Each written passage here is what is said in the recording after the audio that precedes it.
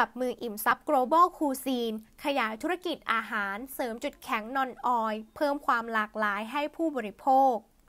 OR เข้าลงทุนบริษัทอิ่มซับ global cuisine จำกัด ผู้ดำเนินธุรกิจร้านอาหารญี่ปุ่น แบรนด์โอโนซูชิ ร้านโคเอนพรีเมียมบุฟเฟ่และร้านอาหารแบรนด์อื่น ๆ นางสาวจิราพรขาวสวัสดิ์ประธานเจ้าหน้าที่บริหารและกรรมการผู้จัดการใหญ่ OR เป็นประธานในการลงนามสัญญาจองซื้อหุ้น และสัญญาระหว่างผู้ถือหุ้น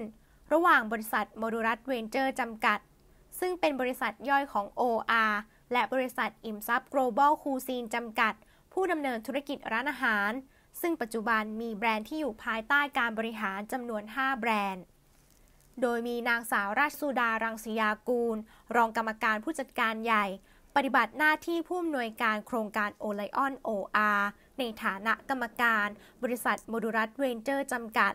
และนายธีรพัฒน์เลิศสิริประภา ประธานเจ้าหน้าที่บริหารบริษัทอิ่มทรัพย์ Global Cuisine จำกัด ร่วมลงนามค่ะ การที่ OR เข้าลงทุนนะคะ ในทางด้านของบริษัทอิ่มทรัพย์ Global Cuisine ในครั้งนี้ ก็นับว่าเป็นการต่อยอดทางด้านของธุรกิจของ OR ซึ่งเป้าหมายของเราคือเราจะไปเป็น Mobility and Lifestyle นะคะ ตอบโจทย์ทุกการเดินทางของผู้คน ทั้งในด้านของอาหารและเครื่องดื่มและบริการต่างๆ หมายความว่าคนที่เข้ามาในสถานีบริการน้ำมัน PTT Station นะคะท่านจะได้รับอาหารที่มีความหลากหลายมากขึ้น มีตัวเลือกให้ท่านได้มากยิ่งขึ้นนะคะ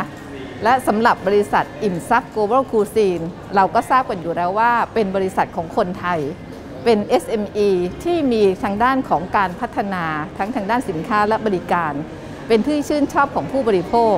ดังนั้นการที่ OR เราเองอาจจะมองว่าเราเป็นทางด้านของบริษัทที่มีทางด้านของ outlet มากมายนะคะ ที่เรียกว่าเป็นแพลตฟอร์ม ดังนั้นทางด้านของอิ่มซับก็มีโอกาสที่จะเข้ามาเติบโต ดังเช่นวิถีการดำเนินธุรกิจของ OR Together for Betterment นะคะ